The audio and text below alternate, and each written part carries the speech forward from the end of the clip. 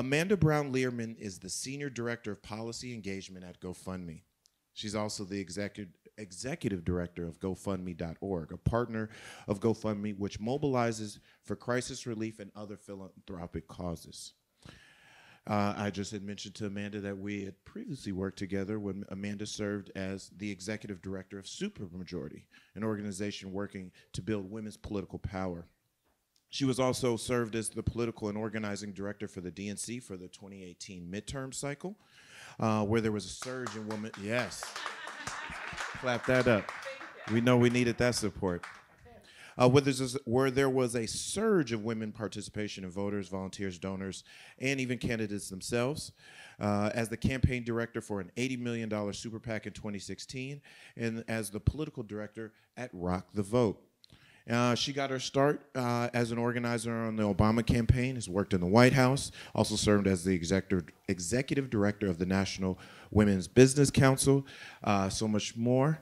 Uh, but if we could give a nice round of applause for our host today, Amanda Brown Lierman. Thank you, Cameron. Um, what a pleasure! I got. It's very fun to be in this room also because my I have my family support here. So shout out to my mom and to my little sister. Um, wouldn't be here without them. So, um, yes, thank you all for joining. As Cameron said, it's great to see folks out bright and early on the first day of CBC. I know it's a little bit rough, but we appreciate you coming out today. Um, we're gonna get started with a little bit of a fireside chat. We're gonna we have some questions for the Congresswoman, um, and then we're gonna try to get her out of here so that she can go vote. Um, and do her, her day job. Um, so, thank you. Do you want to have a seat, Congresswoman? Awesome. Good morning, everybody. Good morning. Oh, okay, was it Cameron? He said, I'm from the black church too. Good morning, everybody.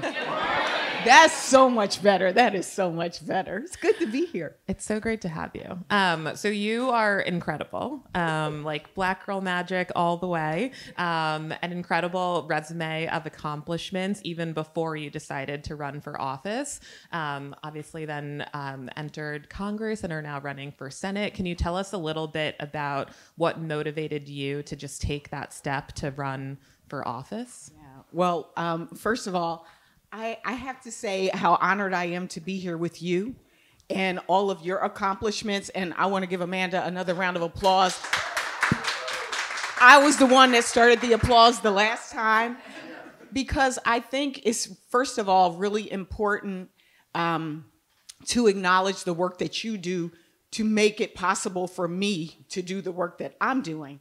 And for us as a people to even be uplifted. A lot of times there are people like sitting right here in front of me that might not be on the TV all the time and might not, but are the real reason why this works. And so I want to first acknowledge that. Um, and, and secondly, um, I just think it's really important too that we celebrate each other and celebrate our successes because this work is not easy. And what why this was exciting to me to even have this conversation is because it's a chance for like-minded people to come together and to, to support each other. So I wanted to, when you talk about Black Girl Magic, magic doesn't happen on its own. It's a, it's a, it's a community, a community thing. Um, me running for office, um, it's funny because one of the people who worked with me on my campaign and then also worked in the beginning of my office is sitting in the front row, Kalila. Kalila, she actually, and I, look, I got Heinz in the back of my mind, but she got married and it's winters. Yeah, yes. Yeah, and but but and and we go way back because um, I actually made her prom dress. She, she yeah, uh, another skill. And it's even worse than that She's a twin. So I made both of their gowns while I was Secretary of Labor, I think it was. It was. Yeah, in the middle of a trip to Japan. But, and I, I guess. We get a round of applause for that. Well, and she now works at the Department of Education. And that's the tie to the future of work is education is one of the keys. Um, community empowerment and upliftment is one of the keys.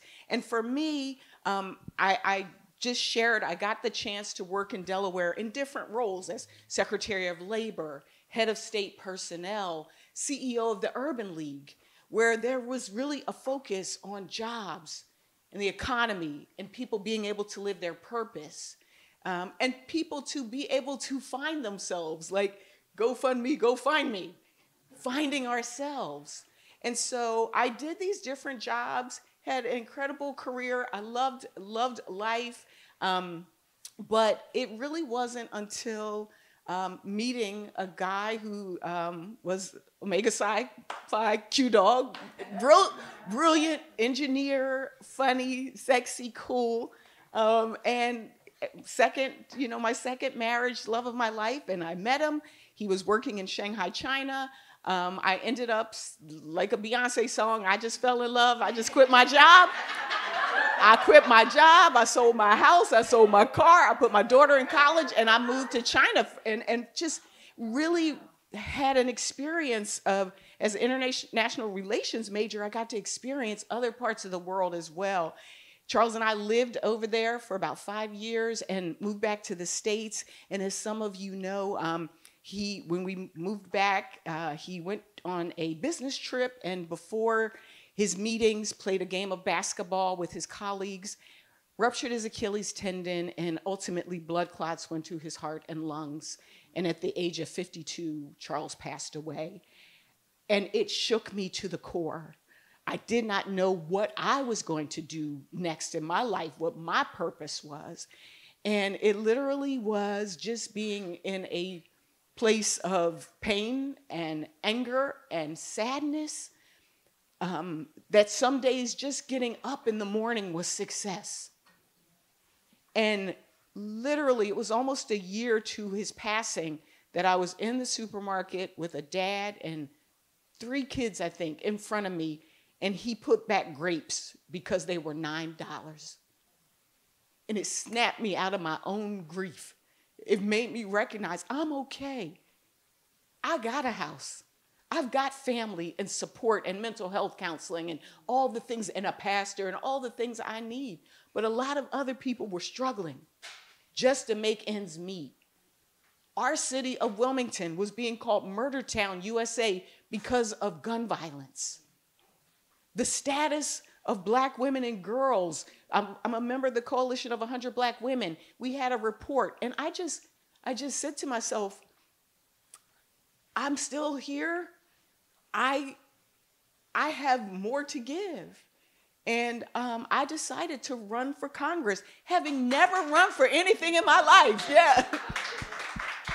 and and I had never been in a debate. I was debating lawyers. I had, and, and I was bad. I mean, I, I was really, it was bad at first. I, I, I never raised that kind of money. It took over a million dollars, you know? But every story I heard propelled me to keep going, keep going. You got this. I would stand in the mirror some mornings and just say, Good morning, Congresswoman Lisa Blunt Rochester. I hadn't even won yet. I was like, I'm going to speak those things that are not as though they were. We're going to manifest this. But I will tell you, coming in when I did was the right time. I came in in 2016, the same time as the former president. And I will tell you, um, I have loved being in Congress. I have loved being of service at this moment, fighting for clean air and clean drinking water, fighting for jobs. I love this work. And even, you know, as I think about the run for Senate, the potential of fighting for our freedoms, reproductive freedom, that nobody, I always say there's no room in, my womb for a politician or my daughters or now my granddaughters fighting for our democracy. Some of you saw me on January 6th, trapped up in the gallery, praying, because that's all I knew to do. And I could feel our ancestors. And so for me, taking the leap to run for Senate is really about continuing the work that we started, but it's also about going deeper on these issues and having more impact. That's what it's about for me. In Delaware, we made history when I was elected, becoming the first woman to serve us in Congress and the first black person. But I don't do this to make history. I'm doing this to make an impact. And that's what this conversation is about. How do we make an impact? You're incredible. Um, I feel like I loved you before this, and now I love you even more. So total fangirl over here. Um, so thank you. What are what are some of the things that you're most proud of during your tenure of leadership? It's such a great question, and it's such a hard question because I, I you know, for me, I, you know, you kind of you check a box and you move on to the next, and you check a box and you move on to the next, and you think about again, what kind of impact can I have? And in Delaware, people think that we're just a, a blue state. First of all, we're blue, purple, and red. And some of you have gone down to the beach in Delaware, Rehoboth, or some of our beaches. But if you turn the opposite direction and go the other way, it, you will run into, um, mm, how do I want to say this? You're in a safe space. You may run into some Confederate flags. You may run into a sign that says, Thank you, Mr. Trump. I would like to add to that for, for leaving, but, but, but, but you may run into all kinds of things. And for me, what has been proud is to hear the voices of Delawareans and then turn those into action. Like we had a com- communities that didn't have clean drinking water. And so to be able to get into legislation, as we did the bipartisan infrastructure bill or the Inflation Reduction Act, opportunities for communities to now have clean drinking water in Delaware. We in our state have a high cancer rate. And for me to work on environmental justice and to work with communities in Delaware where they are now able to get air quality monitors to monitor the air and then to from a community perspective and then notify all their community members and to that makes me proud. The work that we're doing on that we did on the inflation reduction act to lower costs. I specifically worked on the lowering costs for our seniors for drugs and drug prices. I'm proud of that but I would say probably one of the biggest things that I'm proud of was on January 6th. Because some people say, What was my um, best day in Congress? The worst day was also the best day. The insurrection and knowing how close we were to losing our democracy, knowing how close some of us were to losing our lives but then coming back later that night and certifying that election and saying hate will not win, um, you know, racism will not win. These things will not win because we did our job. To me, that was one of the proudest moments of my life. We did our job. And so, um, yeah, I, I, it's too much to say that I'm proud of. But um, and I'm proud I got a great team. Kalila was on that team. Andrew, Will is in the back, because we don't do this work alone. It truly is. Um, it truly is the collection of all of us, and that's why the theme of my campaign is Bright Hope. Bright Hope was the church that my grandmother attended for 70 years in Philadelphia, and that we would go to. And for me, Bright Hope isn't just the name of a church, it is a way of living. That even in the midst of our trials and tribulations, we dig deep to find that spark of hope in trying times. And that it's the collective bright hope that's gonna shine while people are trying to dim our light. It's the collective bright hope. So, so when y'all start feeling like weary and you're well doing and you start feeling bad, just say to somebody, bright hope. Turn to your neighbor right now and say, bright hope. Bright hope. I said, okay, you in the back uh, with the with the shirt on, with the yeah, yeah, yeah, yeah. A little bit louder, bright hope.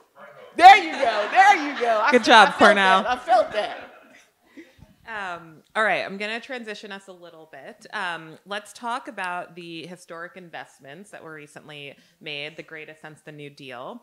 Um, there are some incredible, it could mean incredible opportunity for people, but so many people don't understand it, don't know about it. Um, so I want to talk a little bit about how it can translate into the lives of everyday people.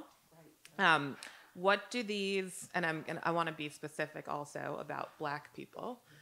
What do these investments, what can these investments mean for Black people? I mean, you know, it's interesting to me because the Biden Harris administration, as well as um, particularly Democrats in Congress, but on some of these bills, they were bipartisan. The, this, this moment of investment is like none other that we've ever seen. I mean, first of all, over 13.5 million jobs creating created. Manufacturing jobs jobs that we are bringing back home jobs that will pay good salaries have been created in these past two years because of both the american rescue plan um, you know our, our work to really rebuild through the, um, the bipartisan infrastructure bill the I could go on with all these names, but the bottom line is we have been doing these things through a lens of equity. And even this administration started out with their first executive order to say, we're going to have a whole of government look at how we are doing things. Because one of the reasons that we, whether it's healthcare, whether it's housing, whether it's access to capital, one of the reasons we have not seen the needle move and why we have seen these gaps in us building generational wealth is because of things that are structural and institutional. And we think we can do a little program here or a little program there and think it will move the needle. It won't. We got to do structural things. And that's what these pieces of legislation have been about. That's what the work of the Black Caucus has been about. It has been about saying that if you're going to give PPP loans, and that's what happened. We started to see PPP loans given out, but they weren't going to the people that needed it the most. And we had to come back, and it was a person like a Maxine Waters who said, uh, No, you don't. We're looking at these numbers. Nydia Velázquez on the Small Business uh, Committee. They were chairing those committees, and they said, We're going to look at these numbers, and we're going to now go back and target the money. If this is important to us, then we got to put our money where our mouth is. So it's everything from small businesses to black farmers to, uh, as we even look at our health disparities, making sure that we are targeting those resources and that they get to the right places. It's also about who is leading in these organizations. You know, like Kalila just shared with me, she just got another promotion. I'm just saying. I'm just saying. You, you sat on the front we, we row. We should invite like, her up here. But we'll think, put you on the panel now. But there you go. But think about it. Think about the numbers of people who are now in positions of power that can really have an impact, whether it is a Marcia Fudge who's looking at housing, even on the Supreme Court, Ketanji Brown Jackson. How powerful is that for us? And so in this moment, um, you will see Hakeem Jeffries has started what he has designated as a uh, regional leadership council. It is nine of us. I'm one of the members. I represent Washington, Delaware, New Jersey, Virginia, and Maryland. And it's my job as well as the other eight members to number one, make sure that the administration is implementing these bills for our veterans, the PACT Act, for, for, uh, for our seniors, making sure that those $35 insulin prices, capping the cost of insulin, those things that are really going to affect us because we know we're disproportionately affected with things like diabetes. We got to make sure we implement them, and then we got to make sure we get the word out. Because if people don't know about them, what good is it? And part of it is who talks about it. That means it's all of us engaged in this. Um, I gave the example a, a, a couple of times this week so far of how we talk about things. So, for example, one of the things in the Inflation Reduction Act was, again, uh, was to make sure that we got our seniors um, um, free, you know, vaccinations, you know. And so one of my team, we were talking to a group of seniors, and, and she shared with them that there will be no co- cost share for vaccinations. In the audience, everybody just looked. And I then I turned around and said, they're free. Vaccinations for seniors are free. Your shingle shot is free. Everybody started clapping because they understood that. So we got to make it plain.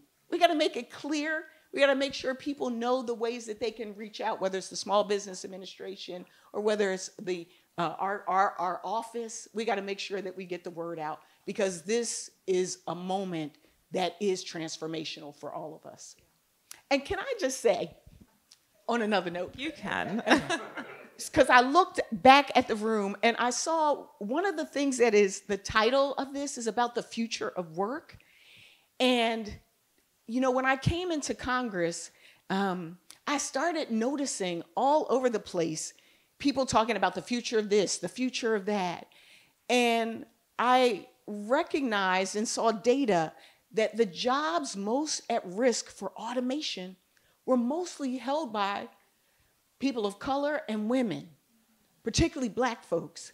And I began um, this bipartisan Future of Work caucus because I did not want us to get left behind. If the jobs of today and tomorrow, if we're not preparing for them, if we're not making sure people have the right skills, the right opportunities, like bills that I've put forward in my jobs agenda, then, then, then we will be we will fall further behind. And so in this jobs agenda is not just um, training, which is important, because I even have a bill on immersive technology, augmented reality, virtual reality, and using that kind of technology to train people in communities and community colleges.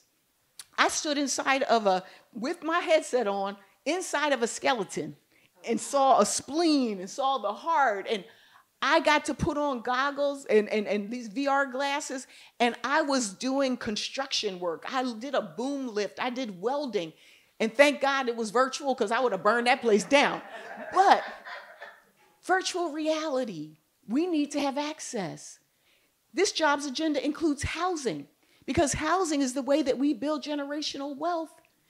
This also includes our returning citizens because we know that when people come back to the community, they need a second chance and a clean slate.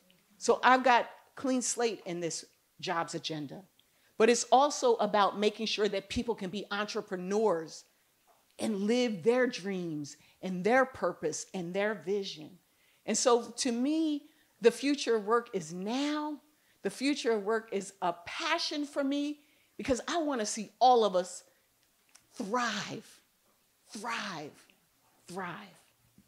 Okay, one one last question.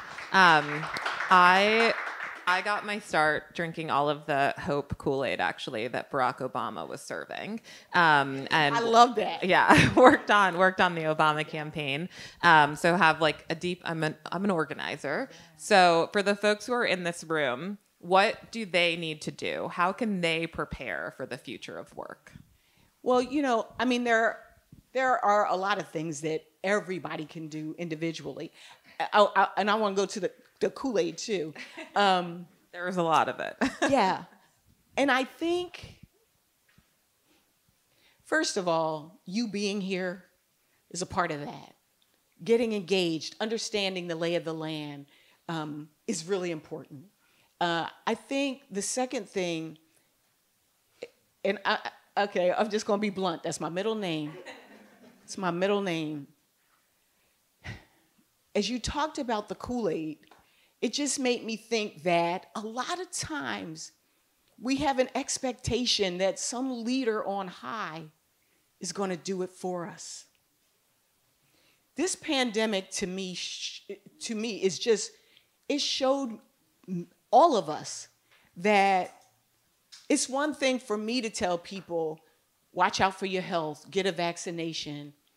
But it was really the pastors, it was Um, it was the pediatricians. It was my pharmacist that I went to. It was my grandmother or my friend who loved and cared about me that encouraged me to do the right thing during this pandemic. And I feel that as we talk about hope, the reason why my theme of my campaign is bright hope is because number one, internally, we got to dig deep in this moment. We got to find in the recesses of us what it takes to continue to be hopeful in a time where everything on the news would tell you not to be. Everything. So, whatever it is that you do to keep yourself whole and well, you got to know what that is and do it. I know what it is for me. Every night, almost, I take an Epsom salt bath with lavender.